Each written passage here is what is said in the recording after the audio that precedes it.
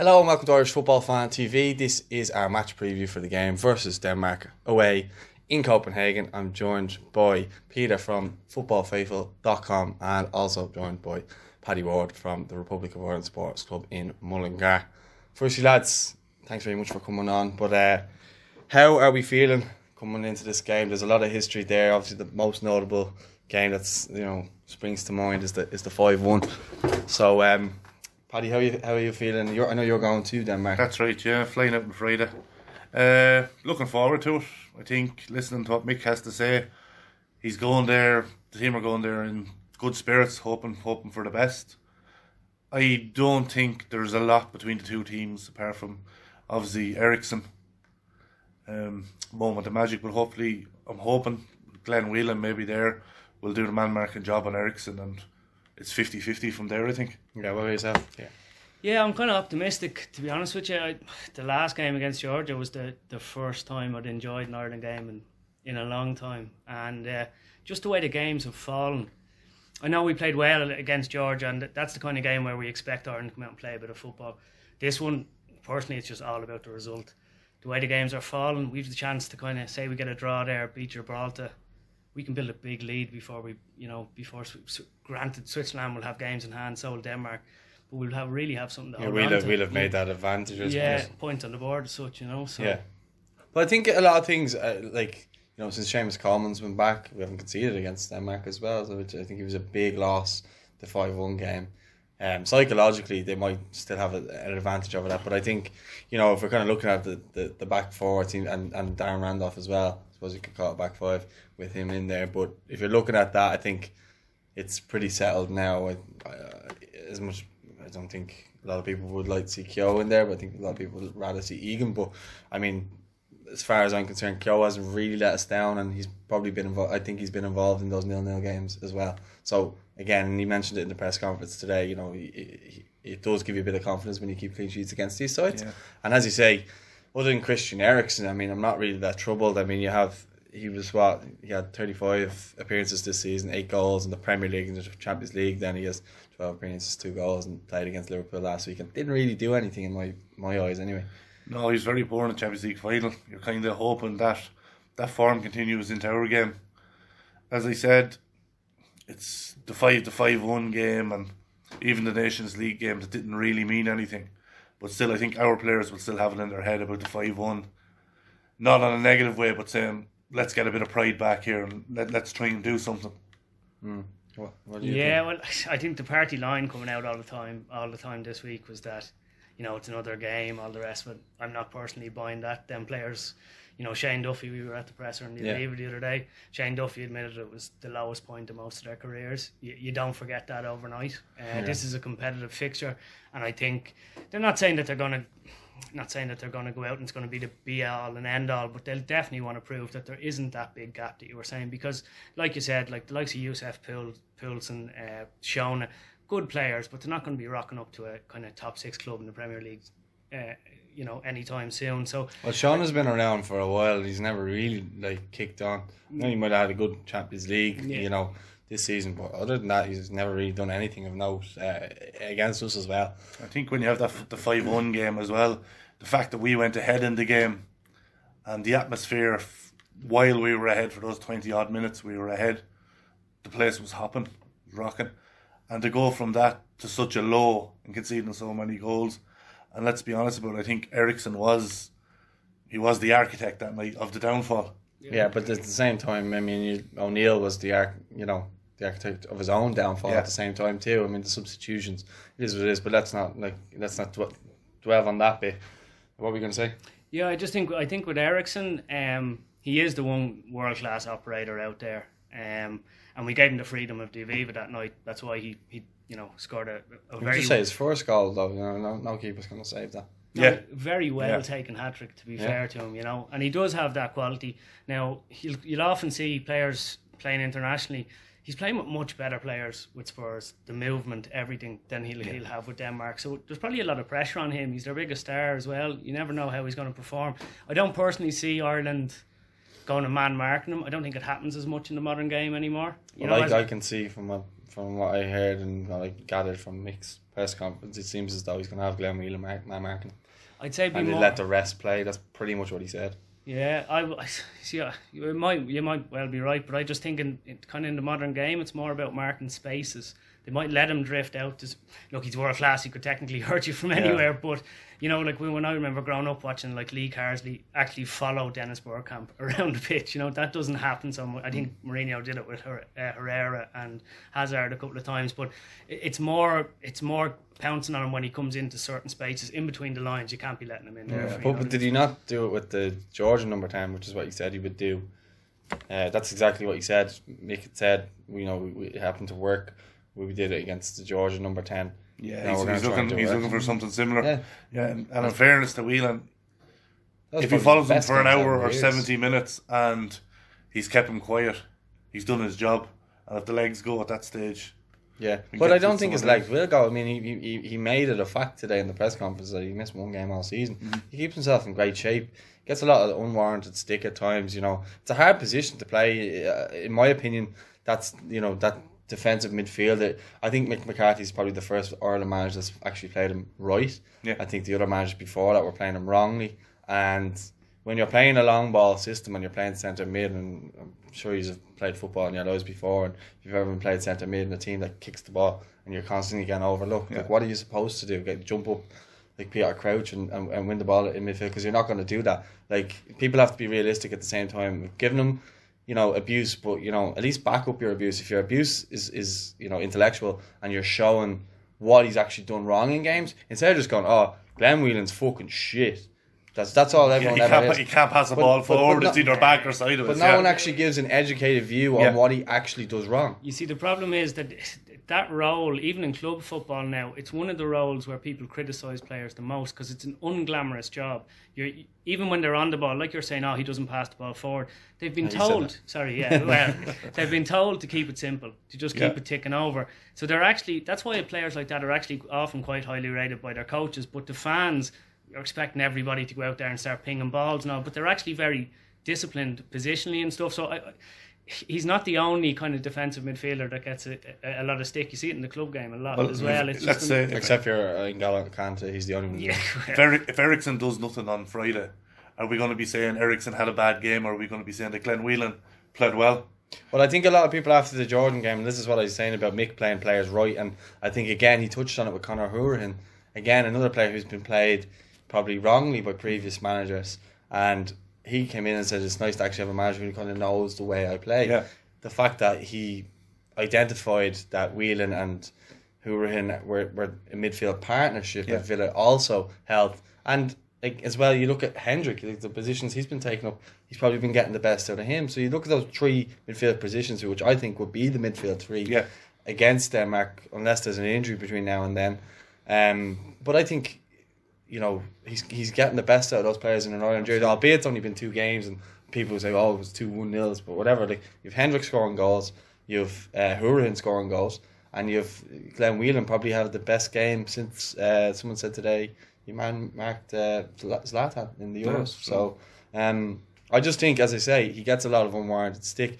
For me, the, the game's going to be for us is is it's going to be won in midfield, and I we think we, so, we yeah. have we have to be at it. And if we're not at it, I think we will be lucky to scrape a draw. Or We need to nick a goal. Whatever we do, we just need to score a goal. I don't care if it goes in off Shane Duffy's arse. Mm. Yeah. We need to score a goal. I think we will both agree on that. Like, absolutely. like I'll still take a point. I would still take a nil nil mm-hmm. away. Of mm-hmm. course I would. Um, but I think we have to be scoring. Mm-hmm. I think it sends a message to them as well. Do you know what I mean? I think the massive difference is as well under O'Neill and Keane when you seen both Georgia games, we sat back and let them have the ball, whereas in the last game we pressed high hmm. Yeah. and We got in their the- faces, Yeah, yeah. and they knocked they knocked an awful lot of long ball compared to what they've done when we played in the last two games. Like I don't know, we had had sixty or seventy percent possession. Yeah. Georgia, do you know what I mean? If we can do that against Denmark on Friday and press high, Yeah. we're going to force them to play the long ball as well. I know they've a big man up tor- top, Jorgensen.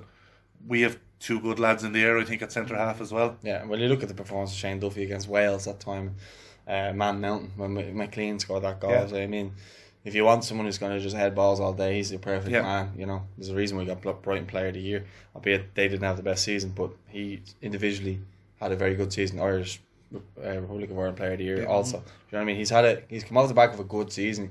Um, personally, maybe not as a collective unit, but personally he has. But their creative players would be obviously Eriksen showing it, uh, Thomas Delaney, who's Yeah. at Dortmund, um, Pione Sisto, um, Yussuf Poulsen, Kasper Dolberg, and Jorgensen. But I don't know how many. I don't. I haven't heard any news about them carrying injuries or anything. like that. I haven't heard anything out of that camp. But see, they as as Mick said, a lot a lot of the way they play is they try to tuck their wingers in and bring the fullbacks on.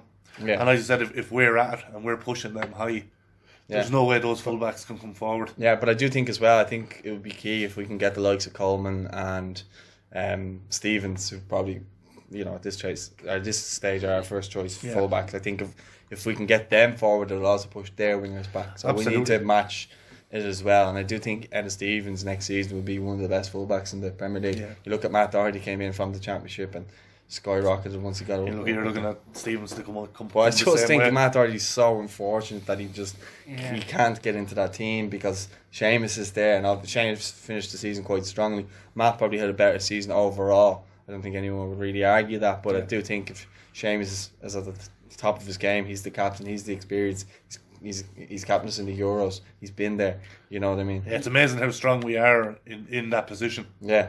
Yeah. And even It's Cyrus unfortunate. Christie doesn't even get in the squad anymore. It's unfortunate, really, that our two probably most high file, high, pro, high profile players in the Premier League are both playing in the That's same right, position. I would definitely go for Seamus Coleman though, because I just think with Matt Doherty, look, he's been the, the best Irish player uh, in the Premier League by a country mile Mm. this season. I think Seamus, like you said, the end of the season started to come strong again. It's always going to take him time to recover from the, an injury like that. It was always going to take him maybe six, nine months of Mm. Yeah. playing to build himself back up. But I think the game that's in it, you need experience, and plus, I don't know about Matt Doherty playing as a right back. How strong is he defensively? Because everything I've seen of him this season that's impressed me has been going forward. True, yeah. So I, I think this is like horses for courses. It has to be Seamus Cole. Even when you're talking about you know Keogh being there, some people don't want them. I think you need your experienced heads out there now. Mm. Well, I see is looking at Coleman, and obviously I'm an Everton fan. The games he kept clean sheets against Arsenal, Liverpool, uh, Man United, Chelsea, against Hazard, Salah.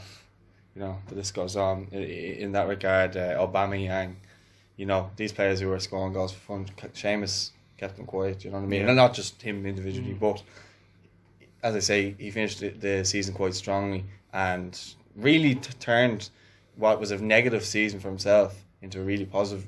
And uh, you know, obviously, then we had the two wins that took us top of the group then as well. So he did finish the season quite strongly. He'll be say the season's not over yet, which Yeah. I like hearing them say because they want they, all they're focused on is, you know, Yeah, they're not, they're not worried about the holidays yet. Yeah, Do you think maybe though, lads? Well, I've I've always, often looked at it with with Coleman and with Doherty and thought, if you're playing at home, that's the game not to play the two of them, right? I know Mick's pretty much said he's not going to try it again, but I think the likes of this game would actually be the perfect game to have the two of them on the right hand. I hand mean, side. that, that like Doherty would be providing the cover as Uh, well. as well, have Yeah. two because you know, let's be realistic. So like, be like so like when Doherty played at home to Denmark and Christie was the Yeah. well he was playing central mid Yeah, that was but he was covering yeah. that area. Yeah. yeah. So I, I think that would you'd often you'd see a lot of big managers doing that as well in the club game. You'd see them kind of playing a left back and, a, and another left back or a wing back in front of them in a big game away or something because Yeah, you've got you've got two runner, players yeah. who are thinking defensively. Yeah, you know if, what I mean? if Coleman Coleman goes past them, Doherty can sit back. Exactly. I Yeah. think I think Yeah. horses for courses that actually wouldn't be a bad move for this game now. To be honest. Yeah, I think it's as you said, it is an option more for an away game, where you're going to get a result more so than a home game where you're playing against a Gibraltar or somewhere Yeah, that, that yeah. you, you're looking to attack and you're looking to score goals. Mm, well, I'd actually flip it the, the other way around because it'll more than likely be a 4 3 3. So you'd want someone who's just predominantly going to attack them, like maybe someone like an O'Dowda. But we'll come to that when we do our starting 11 show, so you'll check that out when we get to it. But I just think he'd be too far forward if that is the case, if it's if it's a 4 3 3 and you have the two of them on it. So I just don't think that'll be, be that case. But the form gu- guide anyway, so the Denmark 2, Austria nil. Wales 1, Denmark 2, Ireland nil, Denmark nil, Kosovo 2, Denmark 2, Switzerland 3, Denmark three. So they've drawn their last three games. Mm, I think if you if you look at the, the we said Switzerland game, But it's just crazy. Like you look at, at both both sets of goals. Defensively, both teams were poor. There was no kind of standout goal as such. Yeah. So like it gives you hope that if we make that we will make chances. It's just up to see now can we take them. Yeah, well, obviously our most you know um, obvious uh, choice of, of you know a target man would be Shane Duffy from set, set pieces. That would be our probably our best chance of scoring a goal. I think if I if I go by what Mick, Mick says, but that would again be key to someone like Hourihane's deliveries because I think Robbie Brady didn't really finish the season strongly. Um, Hourihane did obviously got promoted. And I think he'll be in charge of the set pieces, and he didn't do a bad job last time. So Yeah, especially I- I think we're going to need a lot of hold up play as well. And you look at the way McGoldrick played against Georgia, like he needs another big, big performance for us. Anything that goes up to him kind of has to stick, yeah, especially with the likes of Eriksen. You don't want the ball going up and literally going straight back to his feet Mm. or out to out to the wingers. Well, I do think that uh, McGoldrick is a very clever player. Also, as well, not, no, not in the Georgia game. A lot of the time he had the ball, he was trying these these really clever, intelligent passes, and you know he's got a good assist record for an albeit he hasn't played that much. But he, you know, he got the assist for Hendrick. Um, he got in a couple of times, obviously against Georgia as well, and probably should have scored around the keeper at one point, hit the side net. I think he's due a goal for Ireland, and it wouldn't Yeah, be a bad time for him to get a goal. Absolutely, yeah. Listen, if he gets two, if he gets two quick players around him, that can get up, get up quick. He hold up the ball, and as you said, he can pick a pass.